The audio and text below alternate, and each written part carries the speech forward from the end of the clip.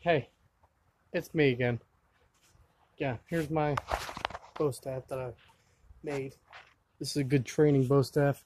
You can make this from parts from any hardware store. See how flexible it is.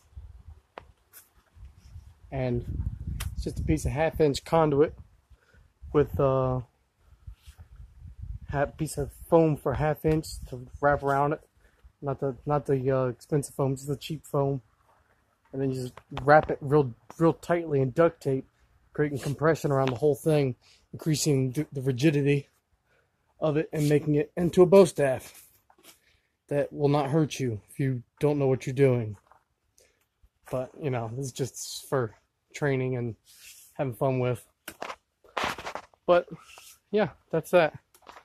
And then there's this compression tape. I got this from the dollar store, Mighty Dollar.